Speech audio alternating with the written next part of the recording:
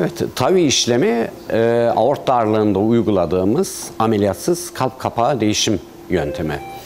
E, aort darlığı bildiğiniz gibi daha çok yaşlılarda bizim gördüğümüz bir e, kapak bozukluğu. Hastalarımız daha çok bize nefes darlığı, çarpıntı, bayılma şikayetleriyle gelirler.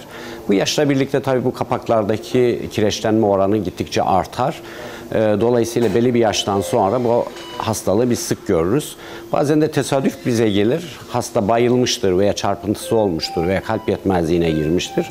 Baktığımızda kalp kapaklarından birinin daraldığını e, bizim söylediğimiz aort darlığı dediğimiz e, teşhisi e, koymuş oluyoruz. Bu hastalarda, bu aort darlığı dediğimiz hastalarda üç tane tedavi yöntemi var. Birincisi ilaç tedavisi, ikincisi ameliyat, üçüncüsü ise bu son yıllarda e, çok sık uygulanan artık e, tüm dünyada da kabul görmüş olan TAVI sistemi dediğimiz sistemdir. Yani bu TAVI sistemiyle e, hastanın herhangi bir ameliyatına gerek kalmadan kasık bölgesine girerek kalp kapağını değiştiriyoruz. Yani oraya aslında yeni bir kapak takıyoruz. Yeni bir e, sistem yerleştirmiş oluyoruz. Şöyle söyleyeyim yani bu iş, e, teşhisi koyduktan sonra tabii e, bu hastalarımızı anjiyografi laboratuvarına alıyoruz. E, hafif bir anestezi veriyoruz. E, yani tam bayıltmıyoruz. Herhangi bir kesi yapmadan kasık bölgesinden girerek e, kalp kapağını bir plastik boru vasıtasıyla kalbin e, o eskiyen, daralan, bozulan kapağının içerisine yerleştiriyoruz. Tabii bunun avantajı şu, o kapağı taktıktan sonra bu hastalarımız herhangi bir ilaç e, kullanmıyor.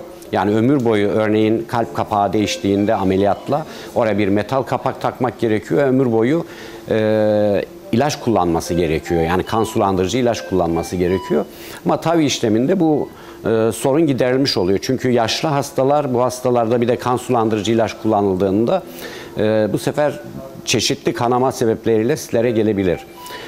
Biz kapağı yerleştirdikten sonra hastayı yoğun bakıma alıyoruz. Bir iki gün yoğun bakımda izledikten sonra e, taburcu ediyoruz. Hasta bir iki gün sonra normal hayatına dönmüş oluyor. Herhangi bir kısıtlılığımız yok e, bu hastalarda. Tabii e, şimdi cerrahiyle karşılaştırmak doğru mu? Tabii ki değil ama cerrahiyle karşılaştırdığında şöyle bir üstünlüğü var. Bu yaş grubu özellikle biz 70 yaş grubu üstüne yapıyoruz bu işlemleri. E, bir kere ameliyat olmamış oluyor. Yani büyük bir operasyon, büyük bir kesi yapılmamış oluyor. İkincisi e, bu hastalar ameliyat olduğunda ömür boyu kan sulandırıcı kullanmak zorunda oluyorlar. Bunu ortadan kaldırmış oluyorsunuz. Üçüncüsü hasta e, ameliyattan sonra ya da işlemden sonra hemen hayata dönebiliyor. E, siz de biliyorsunuz e, ameliyat olduktan sonra herhangi bir ameliyatta bile normal yaşama dönmek neredeyse 6-7 ay sürer. Ama bizim hastalarımız 2 gün 3 gün sonra normal hayatlarına dönebiliyorlar. Peki bütün tabii hastalara bu işlemi yapıyor muyuz? Hayır. Ee, özellikle cerrahi açıdan riskli olan hastalar, örneğin e, böbrek hastası, e, karaciğer hastası, akciğer hastası yani bu ameliyatı da kaldıramayacak. Ameliyat için risk teşkil eden yani e, cerrahlar gördüğünde evet bu hasta riskli bunu alamayız dedik, dedikleri hasta grubunu alıyoruz. Ee, tabii ki arada bir daha düşük yaş grubu da olabilir mi? Yine olabilir. Örneğin e, 50-60 yaşındadır ama yanında bir e, ameliyatı kaldıramayacak başka bir hastalığı vardır.